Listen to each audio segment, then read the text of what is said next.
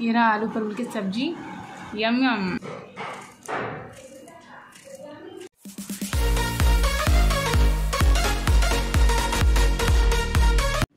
Good morning guys और कैसे हैं आप लोग? Welcome back to our channel और यहाँ पे ना मॉर्निंग का वक्त हो रहा था अंशुमन अपनी स्कूल के लिए रेडी हो रहा था। वो हमेशा खुद ही रेडी होता है।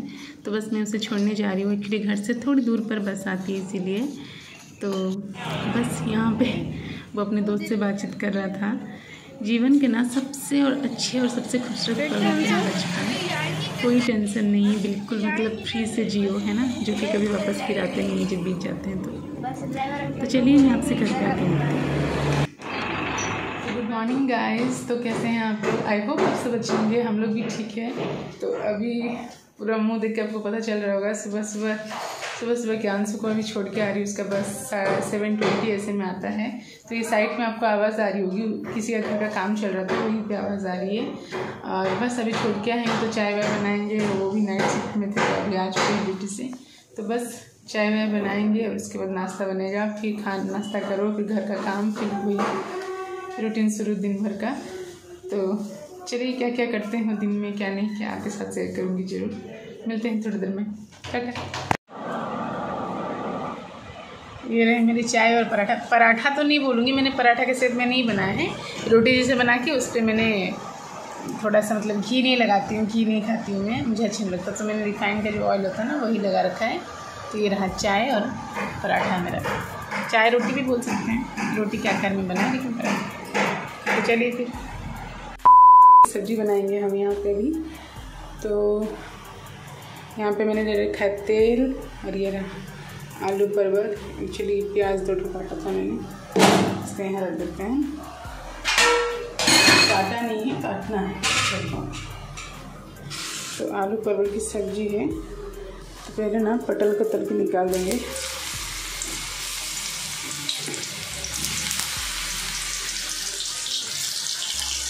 ऐसे ना मैं एक साथ ही पोटल को मतलब फ्राई करूँगी। ज़्यादा ज़्यादा तेल में भी छान के नहीं निकालने वाली हूँ मैं। तो उसमें थोड़ा सा नमक ऐड करके ना इसको रख देंगे तो थोड़ा सा मतलब नरम हो जाएगा पोटल ये रहा नमक ऐड कर दिए हैं इसको ऐसे ढक सकते हैं ढक देंगे तो इसे इसको परवल बोलते हैं फिर पोटल भी बोलते हैं यहाँ पे ये आलू फ्राई हो रहे हैं परवल तो मैंने आपको दिखा दिया फ्राई करके बस जल गए ऐसा लग रहा है लेकिन उतना नहीं ठीक है चलेगा ये आलू और ये मसाला यहाँ पे रेडी है। अदरक नहीं था मेरे पास तो लहसुन, प्याज और जीरा। और ये टमाटर ले रखा है प्याज है और एक हरी मिर्च ले रखा है। यहाँ पे मेरा चावल बन रहा है।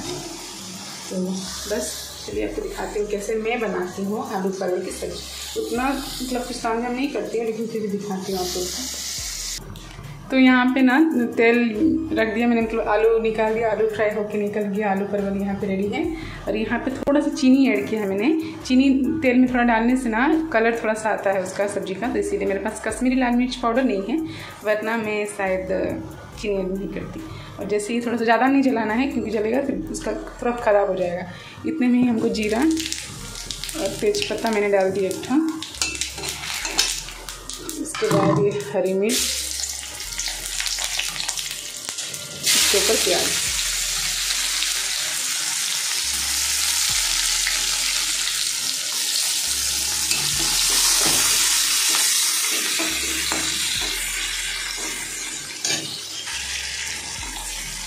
ये हरी मिर्च, प्याज और ये थोड़ा सा भूनेगा हल्का सा इसके ऊपर ज़्यादा प्याज को नहीं भूनेंगे भूनेंगे। इसके लिए जो पेस्ट रखा था ना मैंने, इसे ऐड कर दूँगी।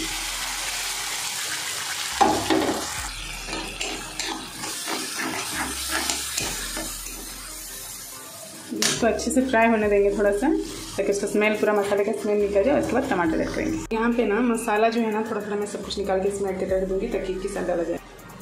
तो ये रखा मैंने हल्दी, एक चम्मच हल्दी। तो ये मेरे पास लोकल मसाला है यहाँ का ना, जैसे तेलुगु मसाला करके एक मसाला मिलता है यहाँ का। तो उसमें सारा मिक्स होता है, मिर्च पाउडर मतलब सब कुछ मिक्स होता है मिक्स मसाला होता है। तो इसको मैं ऐड कर दूँगी, डेढ़ चम्मच।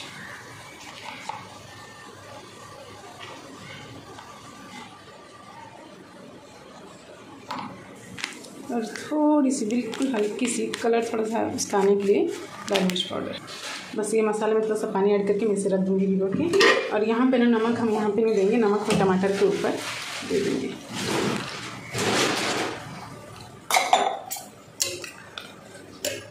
तो ये मसाला जो है ना, ये मसाला रेडी है। अब देखते हैं कहाँ तक फ्राई हुआ है में तो मसाला हम लोग का और थोड़ा सा फ्राई होगा, और थोड़ा सा फ्राई करना पड़ेगा मुझे मसाले को।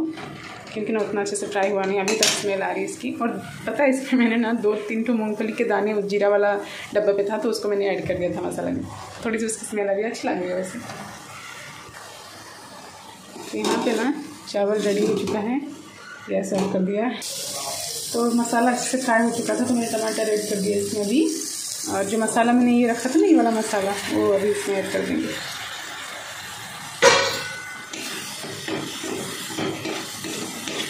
स्टेज पर मैं थोड़ा सा नमक भी इसमें ऐड कर दूँगी मैं। नमक को अपने स्वाद अनुसार आप लोग ऐड कीजिएगा। थोड़ा सा नमक कम ही खाती हूँ, खाना पसंद करते हैं हम लोग। तो नमक ऐड कर दिया, यहाँ पे थोड़ा सा चीनी ऐड कर दूँगी मैं। तो बस अभी मसाला मैंने सारा ऐड कर दिया, थोड़ा सा चीनी नमक भी ऐड कर दिया, इसको भी अच्छे से फ्राई होने देंगे। तो टमाटर जैसे ही गल जाएगा ना तो इसमें और एक चीज़ ऐड करूँगी मैं, आपको दिखाती हूँ। तो मसाला अच्छे से फ्राई हो चुका है। यहाँ पे ना मैं दो चम्मच ये दही ऐड कर रही हूँ। तो ये सब मुझे अच्छा लगता है तो इस तरह से मैं बना रही हूँ। इसका टेस्ट कुछ अलग ही आने लगता है फिर। तो इसको दही और डाल के ना तुरंत तुरंत मिला के स्लो में रखना है। फिर आँच तेज नहीं करना तुरंत चला देना तो दही फट जाएगा। एक कढ़ाई को थोड़ा सा इग्नोर कीजिएगा। कढ़ाई को थोड़ा साफ़ करना है, काफ़ी दिन हो गए मैंने साफ़ नहीं किया बैठ के अच्छे से। तो थोड़ा सा मतलब लग रहा है ना काला पड़ गया है। अंदर का हिस्सा बाहर तो ठीक ही है। ये थोड़ा सा एक मिनट करीब से थोड़ा फ्राई करके ना, फिर इसमें हम आलू और परवल ऐड कर दूँगी मैं ये हो चुका है मसाला और इसमें अभी हम सब्ज़ी सारे ऐड कर देंगे।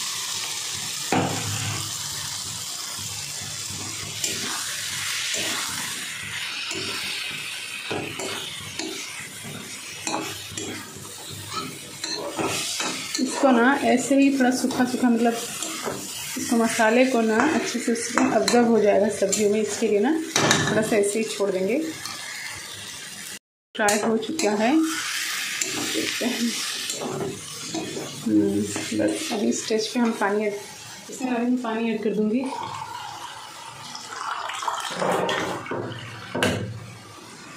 इसमें मतलब पानी ऐड कर देंगे बस। बस और क्या? हो गया, इसमें पानी ऐड कर दिया। सिम को थोड़ा सा भी मीडियम में कर देंगे। मतलब सिम को सॉरी आँच को थोड़ा भी मीडियम में कर देंगे, और बस ये बॉईल हो जाएगा अच्छे से। उसके बाद जैसे ही आलू और परवल सीज जाएगा, उसमें थोड़ा सा हल्का सा गरम मसाला ऐड करके, बस फिर तो बन गई आलू परवल की सब्ज़ी। तो यहाँ पे ना हो चुका है, बस ऑलमोस्ट हो चुका है। मैं इसमें गरम मसाला थोड़ा सा ऐड कर दूँगी। और ये जो जूस है ना, इसको थोड़ा सा थिक करने के लिए ना मैं हमेशा थोड़ा सा ना क्या करती हूँ, जैसे कभी कभी होता है तो उसका जो ग्रेवी ग्रेवी मतलब थोड़ा होता है ना, हम लोग को थोड़ा सा थिक चाहिए होता है। तो इस पर थोड़ा सा एक ठो, ज़्यादा नहीं, आधा चम्मच करीब आटा ऐड कर दीजिएगा। तो देखिएगा, उसको जो जूस है ना, उसका ग्रेवी जो है ना, थोड़ा थिकनेस आ जाएगा उसमें। थोड़ा सा बिल्कुल हाफ़ चम्मच आटा ऐड कर दीजिएगा।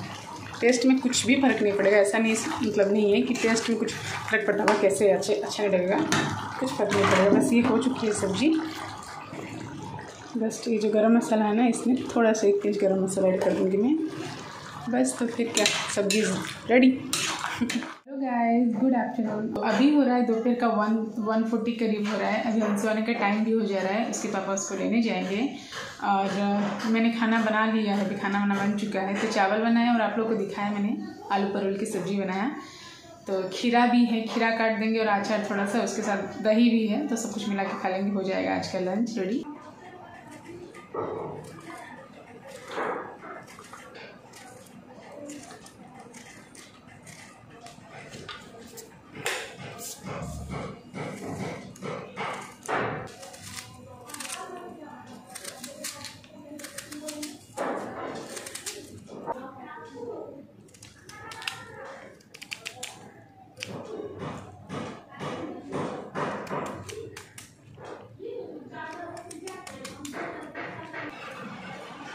चावल, सलाद, आलू परवल की सब्ज़ी, दही। आज का लंच ये रहा आलू परवल की सब्ज़ी। यम यम। चलिए गाइस इस ब्लॉग को यहीं पे एंड करती हूँ मैं। मिलती हूँ आपसे एक नए ब्लॉग के साथ। और अगर आप मेरे चैनल पे नए हैं और अगर चैनल पे विज़िट करते हैं, अभी तो ये नया नया चैनल है हमारा तो अगर कोई भी हमारे चैनल पे अगर आप लोग विज़िट करते हैं तो प्लीज़ चैनल को सब्सक्राइब कर लीजिएगा। आई होप आप लोग को हमारा वीडियो पसंद आता होगा। आगे और अच्छे अच्छे इंटरेस्टिंग ब्लॉग आप लोग के लिए हम लाएँगे। प्लीज़ वीडियो को लाइक कीजिएगा अच्छे अच्छे कमेंट्स कीजिएगा और चैनल को सब्सक्राइब करना मत भूलिएगा। प्लीज़ रिक्वेस्ट है आपसे।